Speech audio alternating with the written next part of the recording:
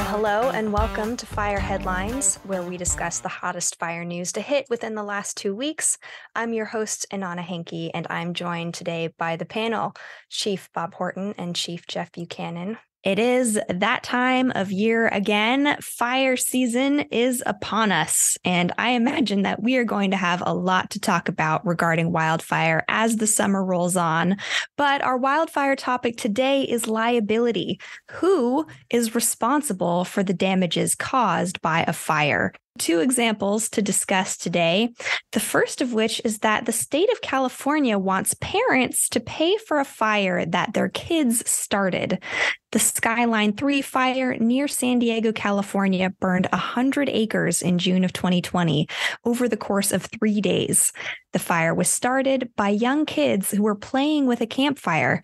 The state now wants the parents to pay over $675,000 for the cost of fighting the fire and the damages that it caused. Now, this wasn't an isolated incident. The lawsuit alleges that one or more of the kids actually started another fire three days prior with sticks that were used with the family's campfire. I remember not playing with matches and keeping sticks in the fire being two of maybe the most early hazard mitigation lessons I received as a child. It seems fair to me that if we can pin a destructive fire on someone, if we know who started it, then they should be responsible for it. And if it's children, ultimately the parents or guardians are responsible. But Bob, how do you feel about this story? There's a lot of complexity as it pertains to wildfire and we do live in a in a society where we have to find a, a space right? So there has to be a finger pointed somewhere and there has to be a blame. You know, there's a sense of accountability and accountability we talk about accountability on this on our show a lot because is a big a big part. There are there are many contributing factors that go into a wildfire. It's a very complex phenomenon. You know, it, it, it, arguably is the only disaster category that has a man-made human caused component to it. About 70% of wildfires, give or take, are human caused fires versus 30% are nature caused by lightning strikes, for example. Lightning strikes are responsible for causing a lot of a lot of wildfires, but 70% of the wildfires we're seeing are human caused. Somebody is directly responsible for contributing to the start of the fire. Now, the the the growth and the spread of the fire, there are other contributing variables. So it's where now you have this human caused interface with an environmental disaster that or environmental conditions that creates you know ultimately this wildfire. I agree with your sentiment Inanna that where there is accountability folks should be held accountable. However i do think we need to really look at accountability in this broader spectrum of who has a responsibility for reducing risk overall to these contributing factors of wildfire and not necessarily specific to this this California case, where we're going to talk about another one that that was a contributing factor of uh, a utility company in Oregon. Everybody who lives in a wildfire prone region has the has a responsibility or, or, or some contributing factor to reducing overall wildfire risk. So in this case, yeah, the fire was started by by kids. Kids should be or, or whomever it is that starts. If there's evidence that supports the fact that they in fact caused that fire, they should be held they should be held accountable. I got to play the other side of this thing. I was really, really compromised when I when I read this. I I got to tell you, I'm I I I don't disagree. I don't disagree with the accountability piece, but you know, a strong sense of where I'm coming from, Bob, I think leans into what you're talking about is reducing the risk of the situation ever happening in the first place. And then okay, I get the accountability to to an extent, but we're talking about children here, and the the descriptor in the article is young. They didn't say how old they are, and I'm like, okay, crushing the family with $675,000 of a fine that nobody, no normal person could possibly withstand. It will send them into bankruptcy. If it follows them, it could potentially hinder them for the rest of their lives, right? I'm really struggling with it. And I, I, I read the article. These, you know, we're, we're painting a picture of poor parenting and uh, use that are out of hand, out of control.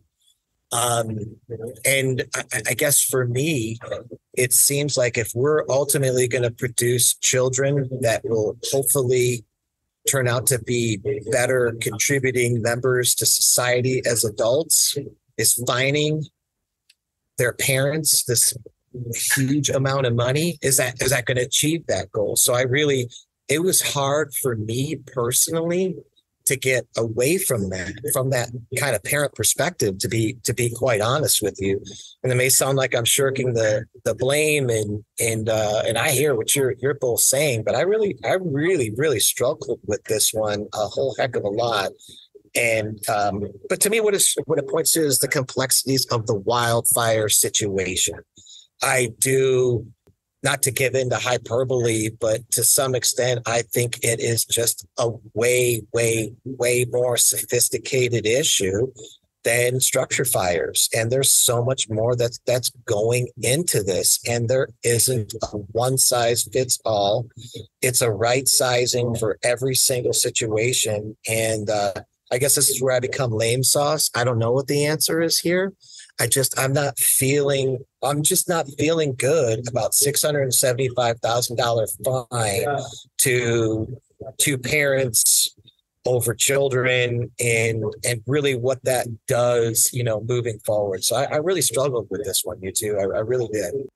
I think that you know, and Jeff brings up a fair point, and because it's a larger discussion about that I'm not qualified to opine on, and that's to what extent are parents responsible for the actions of their kids, and and it does. I I, think it matters uh, uh, on how old they are uh, when it when it relates to what responsibility kids take versus parents take so I so I don't know. I so I I mean I guess I, I, guess you bring some you know you bring some good light to this particular element of of the story. There's a clear responsibility to the kids, you know, for starting this fire and what accountability looks like in either the juvenile justice lens, and this is a the the money being paid, I assume would be a civil liability. Uh, be curious how the courts land on that. This is not the first time that kids have started wildfires that there's a cost. So in fact that happened in oregon if you re, if you recall in on up near your your neck of the woods just outside or just in portland uh fairly fairly large fire that was started by juveniles and and illegal fireworks uh where we want to point the responsibility right? And does the does the amount of money matter? Should it matter? Is it 675000 or is it 15 million dollars in in in damage? In fact $600000 in fire wildfire suppression costs is pretty cheap. They got out pretty cheap uh, in terms of what it really costs to suppress and the impact to those fires. Not to mention trickle down of effect of when those resources are deployed. That means they're they're not available to be deployed to other fires that may have needed them at that at that same time, which is not which is not factored into that number. So uh, Jeff brings up a good point. Uh, the question really then becomes, uh, I'll ask Jeff is, you know, where does accountability lie? Uh, maybe it's not a financial hit to the parents. Where do you see accountability in a, an event like that? Well, you know, again, I'm focusing back on, uh, you know, I, I really do think a lot, and we talk about a lot on the show, talk about psychological, emotional, behavioral health of, of, of firefighters. We're talking about people here in general. And I think about, you know, those children. So, and maybe it wasn't reported in the story, fairness to, to the author and the journalist. But what I didn't see in the story is the, you know, the fire setters class that the, the children are going to be exposed to the the education the you know kind of the rehabilitation and the retraining that clearly needs to for the parents too because obviously they're not paying attention as close as they should to the dangers of of wildfires but i think that that was the starting space that i didn't see that really I, I really got super disconnected from and you know and overly concerned is that i didn't see that at all. All i saw was the fine to the parents and you know all of this focus going on to the parents for for their for their accountability over over their kids. And I probably got hung up on the wrong part of the story. And maybe that's the human element that we all bring to this. I'm thinking, gosh darn it. If I'm the parent, I'd, I'd like to think that wouldn't happen. I'd like to really, really stamp that. But then on the other hand of me, I, I sit back in this, I'm going to be curious and not judge, give a little, little shout out to uh, Ted Lasso fans out there. But, uh, you know, and that, that really, that really gives me a moment of pause. I'm like, shoot, what are the other, what else don't I know about this one? What else don't we all know about this one? So it's, uh, I love talking about it because I think that it it just adds this complexity and this dimension that we're just not normally talking about. You know, except for you bringing a, a parallel story. It sounds like that happened that happened recently. Um, but there's just so many factors here, and um, and a lot of times we concentrate on these negative impacts, rightfully so, to all of the, the lives that were lost, the families that were impacted by these wildfires, the properties that were lost. And again, rightfully so.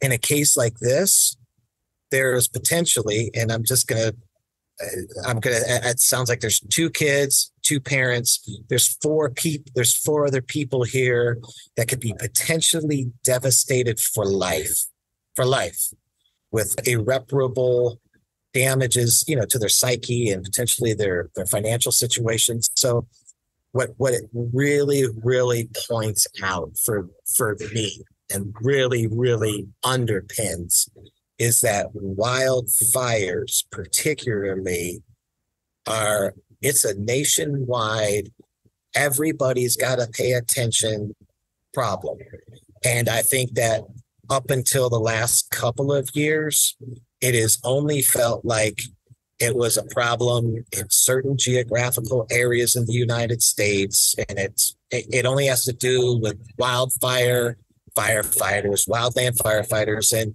and to me, this is another example of how it just it impacts everybody, and I, I'm appreciative of the U.S. Fire Administration, and of course all the work that the Western is doing, and all these fantastic partnerships to to try to tackle this this issue. And so, uh, yeah, that's my major takeaway. There is that you know this problem is so huge. It, it, we need everybody involved, and it's just impacting everybody. And unfortunately, it's impacting too too many people negatively.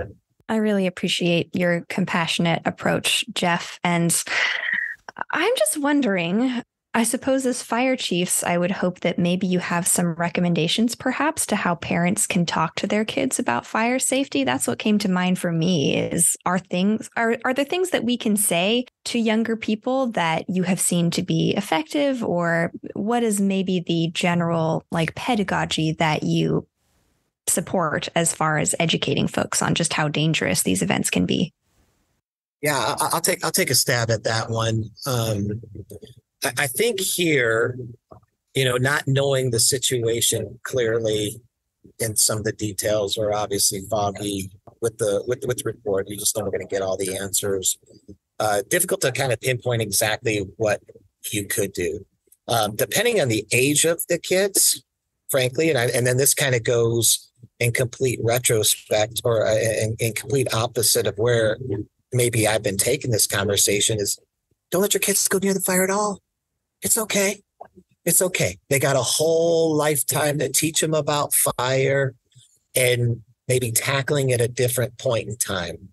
I don't have all the answers as a parent. There's no doubt about that. And there is a balance between allowing your kids to understand certain dangerous things in life earlier than later. I'm not getting into any of that, but that could have been one of the potential answers here.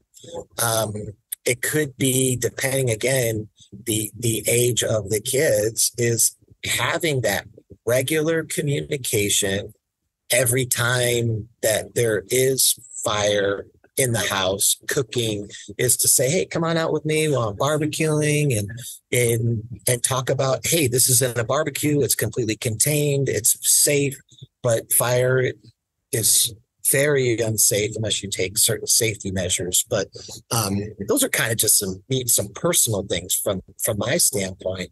I think that it comes back to Inanna, one of the biggest challenges in the fire service, and it has to do with culture, and that's community risk reduction. Too many fire departments the the fire prevention bureau if that's what they're named they take on community risk reduction and there's not enough of them. There's not enough of them. It takes the entire fire department to have a community risk reduction approach. That means the firefighters, that means the fire prevention personnel, that means everybody pushing out messaging of education and consequences to um, irresponsibility and not paying attention to the dangers of fire. So I think the the the best move forward is trying to help change culture in the fire service that community risk reduction is not a sexy phrase. It's something that has to be front and center for all fire departments and all fire personnel all fire personnel. And uh, i think that's really the only way to kind of make some more progress here which would of course include kids. So um, it's a bugaboo. It's a bugaboo of a problem I, I, like that you you brought out Jeff's compassion from this perspective. So I don't I don't have kids and Jeff and Jeff does and that might be why we have differing opinions on uh, on the level of accountability the parents probably uh, could or should have or or managing of children. He's got more experience in that space. So so it's fair that he would have more compassion as well. Uh, there is an amazing program that the U.S. Fire Administration and NFPA uh, the National Fire Protection Association endorse, and it is it is a youth fire setters education program, and it's specifically designed to identify children. There's there's some evidence in the literature that suggests, you know, if these certain behaviors are observed at a child of anywhere from five to 18 years old, I think I I read about th- that they they're at high that at high risk of you know contributing to some kind of bad fire event uh, sometime in the future. And so they're driven into this program. So while as a fire chief, I myself was not specially trained in how to manage youth who were who were starting fires or or had attributes that would hint, send them down that direction. Uh, we knew where to point them to. And this program has got great evidence that shows their success in uh, diverting, you know, children from uh, a path towards uh, fire destruction uh, to one that that builds resilience with them in children. So for for listeners that are not familiar with youth fire setting program, uh, please we'll put a link to it in the show notes. Please do some research on it because if you're working in a community you don't have access to those kind of resources, uh, you're you're sort of set up for failure. So that that's my answer as the fire chief is I'm gonna we're gonna drive this diversion program. We're gonna drive as many children who are at risk for being fire starters into that type of a of a program, and uh, really try to break that path. I guess that pathway that they're on. It's a great resource to know about. Thank you. In our next example, Oregon's second largest electrical utility, PacifiCorp, was found to have played a significant role in the Labor Day wildfires that ravaged parts of the state in 2020. The utility caused a substantial amount of damage related to the fires in the Santiam Canyon, as well as southern Oregon and the Oregon coast. Throughout the specific case, the plaintiff's lawyers said that leaders at PacifiCorp should have known from weather reports and warnings that a major windstorm and extremely dry conditions had the potential to start an uncontrollable wildfire on Labor Day. Bob, as a fire chief, what has been your experience with utility companies? I was actually fire chief of one of these fires uh, that had contributed into our into our community, so I'm f- very familiar with uh, this particular this particular space. Well, at first, I'm going to take a little bit, uh, talk a little bit about from the utility company's perspective. They're they're in a real difficult position here. Now, I, I, again, I'm not. I don't want to excuse their role in in this contribution, but I want to talk just broadly about the position public utilities are in. They generally have, uh, you know, they've got these power lines that are moving power from one area of a state to another area of a state. It's it's you know naturally going to have to go through heavily vegetated areas that they try to manage for and have been successful at it for a number of years. There's you know, with the changing climate, with the changing landscape on the ground, and of course aging infrastructure. Those are all part part of what utilities are are having to wrestle with. This particular, and, and and I also want to give a plug to the Western Fire Chiefs and the work that they're doing because that this this issue with utilities and fire starts is really at the forefront of some of the work the Western does at the intersection of wildfire policy and technology advancements. And I'll talk about that uh, a little bit here um, in a second. but the the trade-off now like let's just talk about what we learned from the 2020 fire and where the power or the utility companies are broadly this is this we happen to talk about oregon but this is occurring in all states that have wildfire and of course they have utilities so this is an issue is when there are certain factors that are contribute that that are predicted so weather patterns that are predicted to cause an issue. So they raise the problem. We don't know with we never know with certainty when when and where fires are going to start, whether it's lightning started or human caused or utility caused. We don't know. It's a there's uncertainty. And so the fire officials and utility officials are making decisions based on probability of risk. And when the probability raises to certain levels, that is typically a trigger point for some type of a mitigative decision. So let's these fires, for example, it was the winds. When the, the, there was high heat and high wind, so high risk that these power lines could contribute to to some type of an issue. Today, that that risk tolerance, that threshold is now lowered to a space where the utility company will shut power off to that those power lines. So, you know, if this risk reaches a certain threshold, and I don't know what it is, but if it reach, uh, reaches this threshold, they're going to power down that that area of the grid, which is going to impact thousands of homes. They're going to lose power.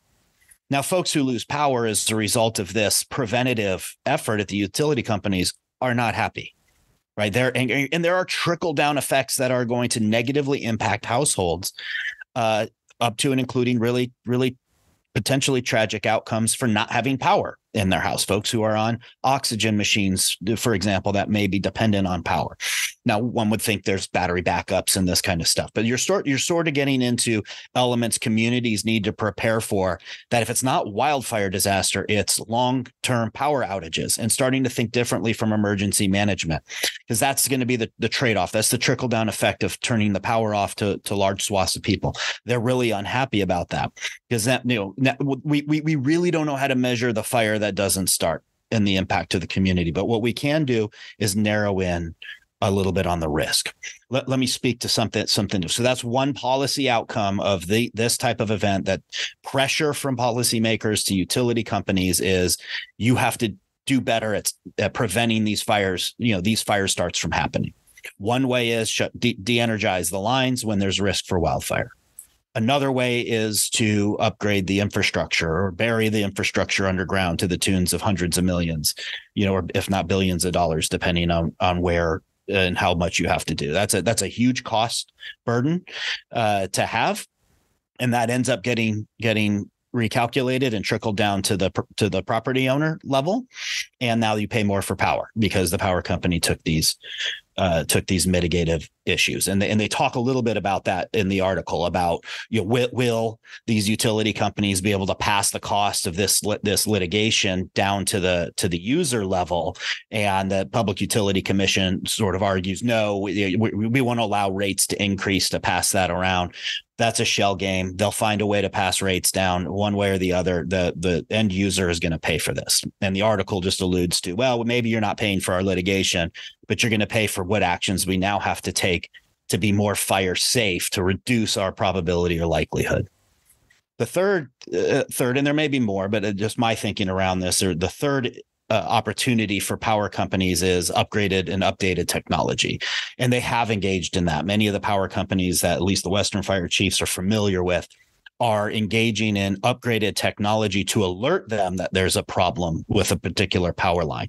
This case was weather converged. In some cases, it's just the power line fails, falls to the ground, catches catches fire. That now there are sensors that are able to de- detect these problems sooner and get get um, maintenance teams out to fix that. And some of it's on the on the power line type sensors. Others are drone technology that's patrolling certain areas in uh, in high wildfire risk, you know, regions. Of course, when there's high wind and you can't fly drones, it's a different different story. So you got you got technology solutions, you got policy solutions, and and all come with with some varying degree of trade offs. I'm I'm wondering so, so what struck me about this article is, is actually two things. One, you did a fantastic job of outlining. It's in the story. It does touch on this decision point of powering down and impacting some of the citizenry and ultimately making the choice to keep the power up. But what is conspicuously not included is exactly what in the heck that means. You just alluded to oxygen machines not being available, ventilators. You and I could go down a laundry list of medicinal treatments that are on pumps and a whole host of things that could literally be life or death. Literally, people could lose their lives if they lost power. We could talk about food that's spoiled. We could go on and on and on. But, and again, the article conspicuously doesn't include that. So I think it's about some perspective. I think that that, that I think that that's huge. Um, and and to that end, I would like to say that I think that um, transparency might help utility companies. And um, and and what I mean what what I mean by that is if they were to discuss or openly disclose that every year that they invest X amount of money, which could be compared to their total revenue, and how much they invested in those three policy areas that you were talking about, they might be able to explain to the people and build a little bit more trust in some transparency in the utility, which I like to call quasi government here. I don't know if it's actually government for this particular case. So that's one facet of of this that really struck me that I you know that I wanted to discuss. But the other piece is there was some disappointment. And again, you just wonder if it's the way it's being reported. They do give a flavor of diabolical conspiracy and the cover up and the non-disclosure of certain elements. And you just has to wonder for me, are those employees just doing what they were told? Did they do something accidentally, or was there this fantastic cover up that, you know, as the reader makes you think, okay, uh, that makes all the sense in the world to get that that huge type judgment. So um, ultimately, I think that it would behoove. Uh, actually, in that case too, it would behoove the power companies to a disclose how much money they are actually investing, which is back into the community to avoid situations like this from ever happening. So people could see and get their arms around what a reasonable investment is. That's number one. But number two, disclose your investigative policies and procedures and disclose them to the community so you can have, again, the ordinary citizen peek behind the curtain of a massive revenue generating public utility to say, okay, this seems reasonable. This is a horrible thing, but yeah, maybe they're not so bad. And you know, what what does it really look like? So those are just kind of two of the things that danced around in my head as, as I was reading and kind of chewing on the article. In our last episode, we talked a bit about an incident that happened at a fire department where there was a very near miss and the the level of investigation that they put into the organization to try and figure out what had happened and how to respond. And that makes me wonder what kinds of systems utilities have in place to do the same thing? To what extent i'm curious i guess about the culture within a utility company and how the, they approach risk management in this regard especially when these risks are millions of dollars. I think california's pg&e just agreed to a $55 million settlement a year or two ago for the Kincade fire and the Dixie fire. So clearly there are certainly dollars and lives at risk here. So I would be curious to know. I don't have any information about that, but what utility companies are doing on their end to close those gaps and figure out everything that contributed to these problems. Uh, you had posed a question about you know sort of this risk management percep- perspection perspective of the utility companies and i would find it hard to believe there's any utility leader out there that you know is perfectly comfortable with knowing that they would caused a wildfire or some some devastation. I, I would find that really hard to believe. However, these you know companies, organizations, even people, we all manage some element of risk. And we insure ourselves against risk. And it creates this space that economists call a moral hazard. And a moral hazard is a situation where uh, what they call an economic actor, when a, a person or an organization or someone who has agency over decisions has an incentive to increase its exposure to risk because it does not bear the full costs of that risk. So we have, you know, generally speaking, people you know may have health insurance. When you have health insurance, there's another funding source that pays for the decisions that we make that may contribute to us having a bad health outcome. It's not just the risks of say we get struck by by by a vehicle and and now we have a medical issue. Uh, we have contributing factors to our own medical medical challenges like our our diet and, and exercise you know that may contribute to health conditions down the future. Better our insurance uh, the, the economists would predict perhaps the, the the worst mitigative efforts or actions we may personally take. Now let me transfer this to what we're talking about. Companies have insurance to insure them against risk and they they may make decisions about how much risk they're willing to take based on what that insurance writer is is willing to cover for them.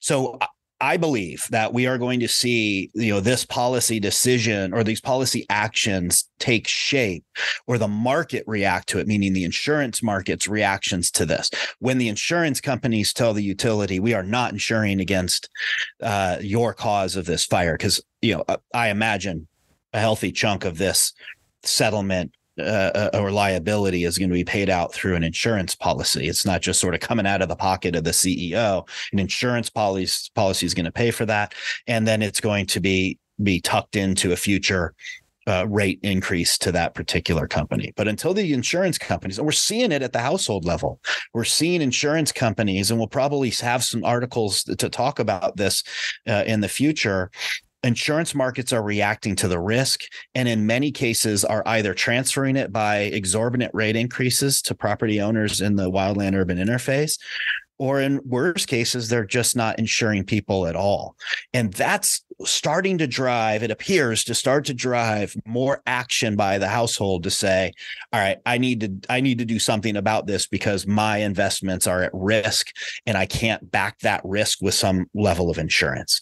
And I suspect the same thing's going to happen with utility companies that insurers and secondary insurance markets are putting pressure on these utilities to say, you have to lower this risk.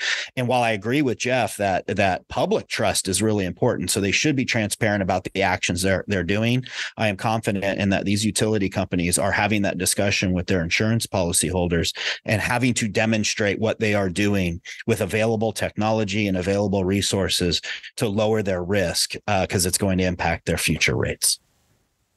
Absolutely. Well, thank you so much for tuning in to this episode. It's great to talk about whether you are an individual homeowner or a large utility. The threat of wildfire is something that we all have to contend with these days. So, just a reminder to all of you out there that this is a, a common issue. And the more folks we have thinking about it and working on it, the better off we are all going to be going forward. If you have a question for the panel, please reach out to us at fireheadlines at WFCA.com and let us know what's on your mind. And we'll see you back here next week for more Fire Headlines.